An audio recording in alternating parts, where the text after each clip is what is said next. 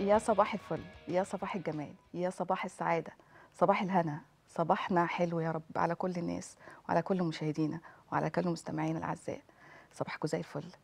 آه هنبدأ النهاردة حلقة يا رب تعجبكم. بس قبل ما أبتدي مع ضيوفي لازم كده أنوه عن حاجة أنا حابة أتكلم عنها في الأول أو في أول شوية يعني. آه أعتقد إن تلات أرباع ناس ما سمعوش عن حاجة اسمها آه الوايت فرايداي لدمياط. لأن دمياط الأستاذة الدكتورة محافظة دمياط منال العوض ما شاء الله عاملة آه، عرض أو فعاليات فظيعة في دمياط. يعني قولوا من أول ديسمبر لحد الشهر اللي إحنا فيه لحد السنة أول السنة الجديدة. اسمها ما شاء الله كل الهدف الرئيسي إن هي تعلي من إن تبقى محافظة دمياط تاني الضغط عليها كأساس أو تعمل أعلى نسب من المبيعات وبأقل الأسعار.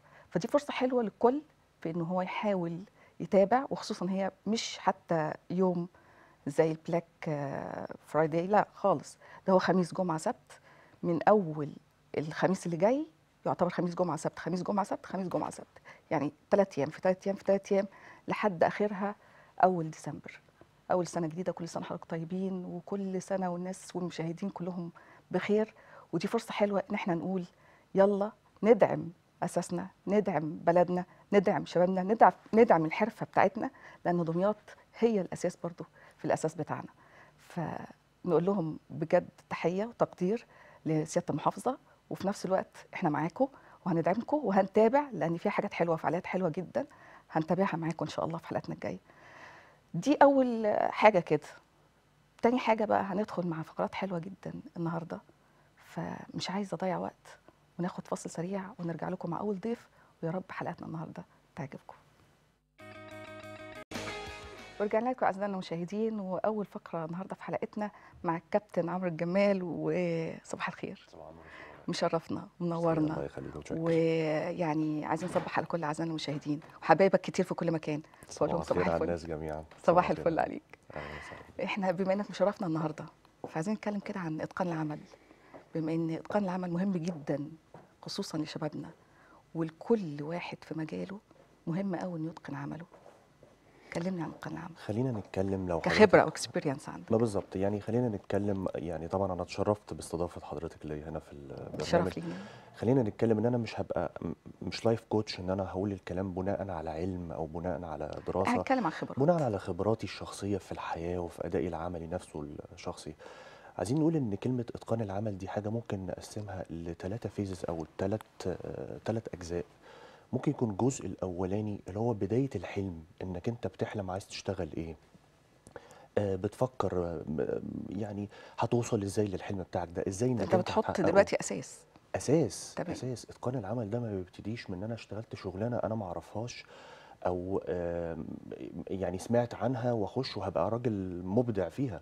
لا لازم في الأول أنا بحلم بإيه الشغلانة نفسي إن أنا أنت اشتغلها حياتك كانت كلها أحلام على فكرة. أنا حياتي كلها كانت أحلام. وحققتها ما شاء الله. الحمد لله حققت طبعا جزء كبير منها الحمد لله. فهو ده بداية إتقان العمل أو أداء العمل بالشكل المناسب إن إحنا نبتدي أول حاجة نحلم. وبعد لما نحلم ونعتبر إن دي الخطوة الأولى وإن إحنا إزاي هنسعى لها نخش في الخطوة الثانية إن تبقى شايف نفسك تقصد. بتحط شايف نفسك في نفسك برواز في المستقبل. تمام. شايف أنت عايز تبقى إيه. ومش ما أنتش عايز تبقى شخص عادي. يعني أنا أنا مش مجرد إن أنا بحلم إن أنا أبقى محاسب. لا أنا عايز أبقى محاسب شاطر محاسب مجتهد هو ده الاتقان بالظبط. فخلينا لو قلنا دي مرحلة أولى إن هي بداية الحلم إنك أنت بتحلم. نقول في مرحلة تانية اللي هي آه إنك أنت ما تبقاش نمطي في حياتك إنك أنت تجتهد وتشتغل ما جامد تقلدش تقصد؟ ما تبقاش ماشي كده وروتينك العادي اليومي هو هو أنا ما عملتش حاجة جديدة؟ بالظبط؟ بالظبط. وتفضل قاعد بتبذل ما هو آه، خارج نطاق العمل الطبيعي وليكن الموظف الطبيعي بيروح يشتغل مثلا من الساعة 9 للساعة 5 أنا مش هقول اشتغل قبل كده ولا بعد كده بس أنت ما تحكمش حياتك بساعات عمل. احكم حياتك وعملك ده بفكر وهدف انت عايز توصل له. الفكر والهدف ده هيتطلب منك تشتغل ممكن 12 ساعة في اليوم ممكن تطبق 24 ساعة في اليوم عشان ثواني يا تنجح. كابتن يعني حضرتك تقصد ان إحنا نبتدي حتى لو أنا مجبر على شغل لفترات معينة أنا ممكن احقق حلمي بعد كده في الفترات أو الساعات ال- اللي بعد ال- الاساسي. بالظبط. بحيث ان أنا اعمل الحاجة اللي أنا بحبها وفي نفس الوقت أقدر اطلع اللي عندي. بالظبط. وتبقى بتفكر في شغلك. انت راجل دكتور. قاعد بتفكر لما بتروح البيت هتعمل إيه بكرة؟ هتعمل إيه بكرة في المستشفى؟ هتعمل إيه بكرة مع المرضى اللي أنت هتقابلهم؟ آه، بتفكر بتخطط بخطط. وبتفكر. فإحنا لو قلت لحضرتك هقسمها لثلاث أجزاء من وجهة نظري. أول جزء اللي هو الحلم وإزاي إنك أنت هتوصل له. الجزء الثاني ما تقعدش تقفل شغلك على عدد ساعات عمل وخلاص أنا ده على قد فلوسهم وعلى قد شغلهم. لا أنت بتشتغل كتير بتجتهد كتير عشان توصل لهدفك. ولو قلنا الجزء الثالث بعد كده إنك أنت زي أي فريق كورة مثلا الفريق جيب جاب بطولة. هل هيقف لغاية هنا؟ لا طبعا. لازم يجيب بطولة بتاعت السنة اللي بعديها أبص للاعلى والأعلى صح. فأنت لما توصل لغايتك أو لهدفك حاول تبقى تالت خطوة إنك أنت ما تقفش عند الحتة دي. نمي نفسك زيادة. خد كورسات اجتهد آه يعني ما تقفش بس على الحتة اللي أنت وصلت لها. لو إحنا اتكلمنا على كده لو قلنا لعيب زي ميسي ما أول ما ياخد أحسن لعيب في العالم هيخلص وهيقعد في البيت خلاص وخلاص خلاص أنا حققت هدفي كده وأقعد في البيت. لا صح. لازم تفضل تجتهد عشان يفضل ياخد أحسن لعيب كل مرة فيدور على فنيات جديدة يطبقها. في في حاجة غريبة كنا ده على طول نسمعها في الشغل عموما. يقول لك طب ما أنت الصح إنك تسيب شغلك وأنت في أعلى منصب وقول سلام عليكم عشان يبقى حتى شكلك حلو. يعني أنا حققت دلوقتي آه، أعلى حاجة أو أعلى مكانة. قدرت أوصل لها. يسيب يسيب المهنة ولا يسيب المكان؟ يسيب المكان. يسيب المكان ده ليه آه، حاجات كتير. يعني أنا أقصد هو كده قطع أحلامه. أنا لا، بتكلم لا. يعني هيبقى ضد كلامنا. لا لا لا لأن هو أنت كده قطعت حلمك. طب ما تحقق فيه هو ممكن يكون ده أقصى حاجة وصل لها في شغله. فهو عايز لا، يسيبه هو في وضعه ده. أنا أقول لحضرتك إحنا ما بنتكلمش إن إحنا نقطع المهنة. أنا بشتغل محاسب. هفضل طول عمري محاسب فأنا ما. قطعتش مهنة المحاسبة. أو بشتغل آه، لعيب كورة أي حاجة. فما قطعتش المهنة نفسها. لكن ممكن أغير من حتة لحتة بنتقل للأفضل. لعيب أو كوره أتعلم حاجة جديدة خالص بره مجالي تقصد؟ آه بس لغاية برضو آه ليميت أو حد أو عمر محدد لازم إن أنا خلاص أبتدي أستقر على هدفي أيوه. ما ينفعش أفضل قاعد عمال أجرب لغاية سن 50 و60 سنة عمال أجرب كل شوية مهن جديدة مهن جديدة مهن جديدة. لأ خلاص المهنة اللي تعجبك اللي أنت كنت بتتمناها ونفترض إنك أنت وصلت لهدفك واستقريت على رأيك فيها وأنت عند سن 20 30 35 سنة خلاص وصلت لها ابتدي بقى اجتهد عليها جامد جدا. واوصل. بقت دي مهنتك. هتغيري من مكان لمكان ممكن. بترتقي بالمكان بتاعك. أنا كنت بلعب في نادي درجة تانية وبنتقل لنادي درجة أولى برتقي من مكان لمكان. لكن هي إن أنا أخدم المكان يعني أخدم نفسي ب... بإن أنا أرتقي. بالظبط. يعني حتى لما أفكر أفكر في إن أنا زي ما بيقولوا كده ألعبها صح. يعني أبتدي أخد نقطة تديني بوينت أعلى. بالظبط. صح كده؟ برتقي بس في نفس المهنة اللي أنا اللي أنا بتمناها وبحلم بيها وبحبها.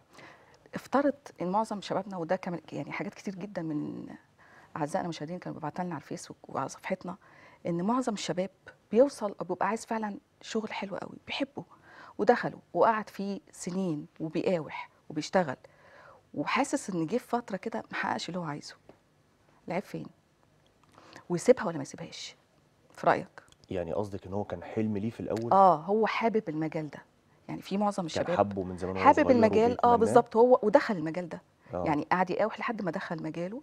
وبعدين قعد كذا سنة وما حققش حاجة ما حسش إن ال ال الهدف المنشود أو ما عندوش مثلا آه، آه، عائد مادي ما ما دخلش عليه عائد مادي لأن هو بيحب الشغلانة. الطبيعي يعمل إيه؟ لو بيحب الشغلانة أعتقد إن هو ما يسيبهاش وإن هو يدور يطلع منين العائد المادي تعرف أنا ليه. بقول لك كده. عشان دي مشكلة الناس كتير جدا. في ناس بتقعد تقول أنا بصرف على الشغلانة مش هي اللي بتديني. بيحب شغلانته. بيحبها؟ بيحبها قوي بيحلم بيها وهو صغير كان نفسه يشتغلها. أقول لك على موقف كوميدي وكلنا مرينا بيه وإحنا صغيرين. كلنا كنا بنشوف أي مهنة قدامنا وبنقول نفسنا نشتغلها. ونعمل زيها ونلبس ونعمل. زيها ونلبس ال uniform بتاعها والشكل بتاعها. ف آه، آه، فكان أهالينا بيسيبونا. عيش يا ابني واحلم باللي انت عايزه في الآخر اوصل. آه، في وقت الأحلام دي لما تبقى كبير طب إحنا كنا صغيرين فيقول. لك احلم. أما أنا خلاص أنا خدت كذا سنة في مجال ومش عارف أحقق اللي أنا عايزه مع إني بحبه. طب أقول على حاجة برضه هي خبرات شخصية ما هيش قلت لحضرتك مش لايف كوتش ولا لا طبعا أنا بتكلم على. خبراتك. آه، آه، خبرات شخصية. هل ال- الحلم اللي أنا حلمته اشتغلت عليه كتير؟ ولا أنا مجرد حلمته وقعدت في البيت ما عملتش أي إزاي يا كابتن عمرو؟ اشتغلت عليه كتير فكرت فيه كتير سألت هنا سألت هنا أخدت الكورسات أخدت الدراسات اللازمة آه عملت كتير. شفت بره بيشتغلوا إزاي؟ أواكب إزاي العصر؟ أتطور إزاي؟ أبقى غير نمطي إزاي؟ آه هل أنا عملت الكلام ده ولا مجرد حلمت وقعدت في البيت؟ آه عشان لا كده آه، لما ما هو طبعا إحنا ضد السلبية في إن هو يحلم ويفضل بالظبط. قاعد ومستني الشغل لما يجي له أنا بتكلم على اللي قاوح وقعد واجتهد والكلام ده. المفروض إنه يفضل يقاوح؟ آه. يفضل يجتهد. أنا عاجبني حتة آه دي يعني حلو هو بي بكل تصميم وإرادة. أنا أنا معاك على فكرة. يعني أنا أنا بشجع رأيك. أنا كفاية إنك أنت حسيت إحساس أنت بتحبه. يعني أنا دايما أقول لك إن لنفسك عليك حق. فأنا شايفة إني حتى لو يعني هشتغل إيه غير حاجة أنا بحبها؟ ولو بشتغل حاجة تانية طب أنا ما صدقت لقيت حاجة حلوة أنا بحبها. فحتى لو ما أديتش كل حاجة فيها أنا في مجال أنا بحبه. فأنا معاك في النقطة دي. بالظبط. وايا كان ال- الدخل اللي هيطلع منه ربنا اللي بيرزق في الآخر. بس ايا كان الدخل اللي هيطلع منه أنت ما بتشتغلش لشخص معين. انت بتشتغل لنفسك. بتشتغل لربنا سبحانه وتعالى طبعا أول آه حاجة طبعا. ثم لنفسك بعد كده. حلوة تشتغل لنفسك دي. طبعا. تشتغل إنك تفرح روحك. أنبسط أيوة. وأفرح وأخلص شغلي وأنا مروح وأنا فرحان إن أنا أديت شغلي وعملت. وحسست بكيانك. أنت أديت في حتة أنت بتحبها. بالظبط. مش بشتغل عشان مديري يشوفني ويقول عليا إن أنا موظف مجتهد أو إن أنا بعمل إيه. لا أنا بشتغل أنا عايز أنجح وأنا شايف نفسي كمان سنة ابقى فين كمان خمس سنين ابقى فين كمان عشرين سنة ابقى فين. مهنتي اللي بحبها وأنا لازم أحط الدرجات دي؟ خمس سنين عشر سنين وه... آه. أيوه ده في- ليه بقى؟ ده ده إتقان على فكرة. ما ده من إتقان العمل إنك تبقى حاطط target كمان. بعد خمس سنين المفروض أكون حققت كده. لو ما حققتوش أعمل إيه؟ أو البديل إيه؟ ده في علم علم اسمه strategic management. العلم ده اللي هو بتبني دراسات الاستراتيجية في شركتك أو شركتك. في أي حاجة. مم. في أي ت- في أي إدارة. ما تعمله لنفسك. ما تعمله لنفسك. قول لنفسك. وعلى فكرة أنا عامل كده لنفسي. يعني؟ بتعملها إزاي؟ أنا بفكر أنا عايزة أفيد أعزائي المشاهدين من أنا حاطط الاكسبيرينس بتاعتك الحلوة. حاطط لنفسي حاجة ويمكن حتى الناس المقربين لا ممكن يكونوش عارفينها. حاطط لنفسي حاجة أنا كمان سنة أبقى فين؟ كمان خمس سنين أبقى فين؟ بتزعل لما ما بتوصلش كمان سنة أنت فين؟ آه يمكن بزعل شوية. بتقاوح بقى. بس بقاوح زي ما حضرتك قلتي كده بالظبط بقاوح عشان لازم أجيبها برضه. ولو ما قدرتش آه تعبي واجتهادي ربنا هيفتح لي طريق في حتة تانية. بس في الأول في الآخر برضو بتبقى مبسوط إنك حاولت وقاوحت آه. حتى لو ربنا ما قرضهاش آه. بس أنا عملت اللي عليا. حصلت معايا كتير. ده قصدي حصلت كتير إن أنا قاوحت كتير. أيوه. وما حصلش أيوه أنا بجرك أهو. جري. وما حصلش آه، نصيب في الحتة اللي أنا وقعت فيها و- وسبتها ورحت ح- اقاوح في حتة تانية بس كله في مجال حلمي واجتهادي وعملي. مش سبت المجال خالص وقلت أروح أجتهد في حتة تانية خالص. في ناس بتيأس بسرعة. اديهم نصيحة. يعني أنت شوف أنت بتقاوح وبتبقى عارف وبتبقى حاطط حتى ليميت ولو ما وصلتلوش أنا برضه هقاوح فيه وأنا مبسوط الحمد لله وصلت له أو ما وصلتلوش عملت اللي عليا. يعني خلينا نقول على آه، حتتين الحته الأولانية آه، ربنا مش هيضيع ابدا أجر من اجتهد من- عملا من- من يعني أحسن عملا. من أحسن عملا. عمرنا ما ربنا هيضيع صح. الأجر ده. فأنت اجتهد.